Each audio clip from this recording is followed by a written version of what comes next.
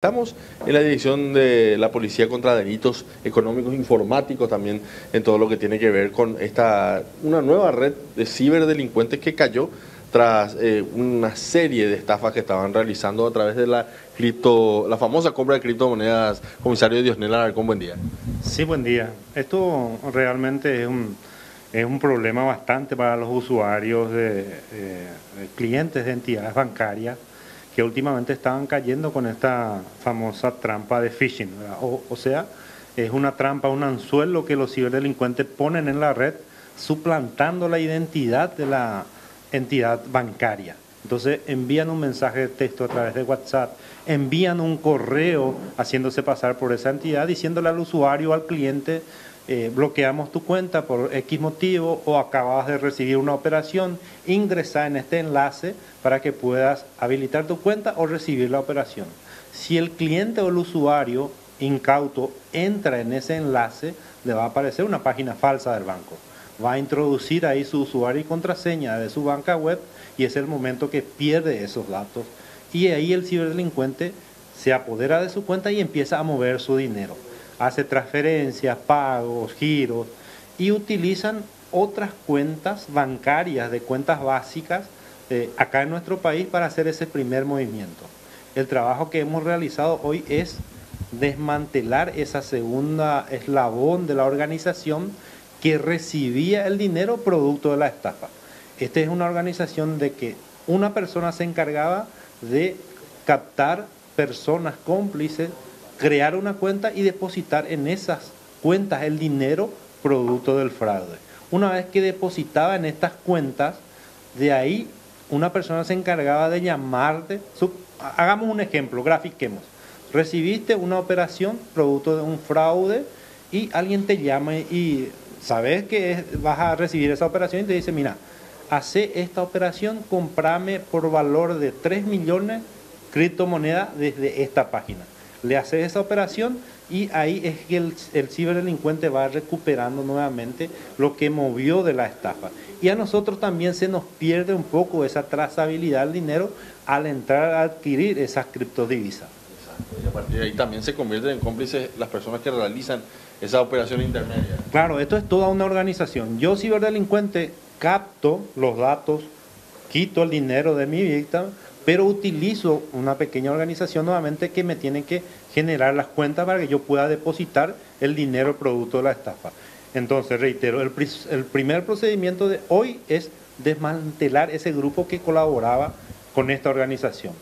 Al ser extranjero, nosotros vamos a requerir seguramente del concurso de nuestros pares de otros países para poder ir avanzando en este proceso de investigación que realmente resultó bastante tiempo. Esto veníamos nosotros trabajando del año pasado.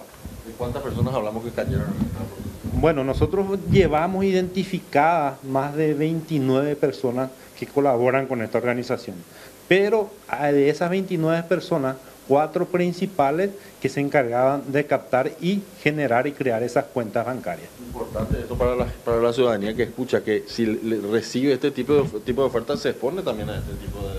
Por supuesto, hoy en día eh, eh, la tecnología hace que nosotros podamos mover el dinero de la cuenta bancaria usando aplicaciones a través de una banca web. Entonces aprovechan esa facilidad que tenemos también los ciberdelincuentes de poner su trampa y de que caigamos en el engaño.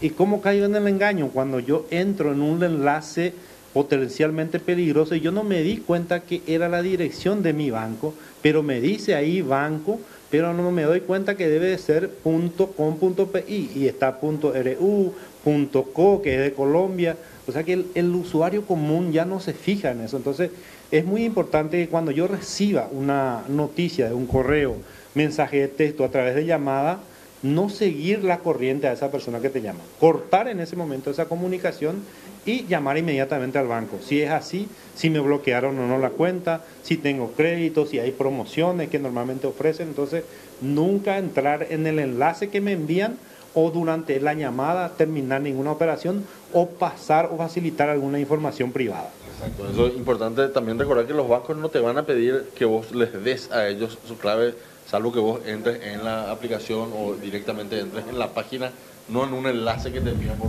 Totalmente. El, el procedimiento de darte tu clave personal mm, es presencial. Te entregan una vez la entidad bancaria o la operadora móvil y te dice, puedes cambiar dentro de las 24 horas una segura que sea exclusivamente tuya. Ese código, si no tienen los delincuentes, no les sirve que tenga tu cuenta, que tenga tu tarjeta. Tiene que tener esa, ese PIN transaccional. Y eso es lo que ellos obtienen a través de estas trampas.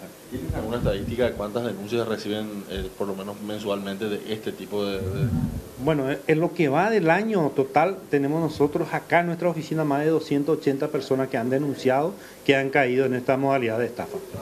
Mucha gente la que... Y estamos hablando más de ya de más de 3 mil millones de, de pérdida que han eh, generado a diferentes personas en su cuenta. Hay personas que perdieron mucho dinero hay personas que no tenían en su cuenta dinero, pero hicieron préstamo, porque hoy en día puedes hacer un préstamo básico de un millón, dos millones sin tener fondos en tu cuenta. Entonces, el ciberdelincuente agota hasta ese, ese procedimiento. ¿Puede también la gente comunicarse con ustedes en caso de tener una denuncia o alguna duda que pueda eh, ayudarle también? Lo más importante es denunciar para que nosotros podamos iniciar ese proceso de investigación de dónde recibieron ese correo de dónde recibieron ese mensaje y eso para nosotros es un punto muy importante de partida para la investigación, principalmente para llegarle al ciberdelincuente.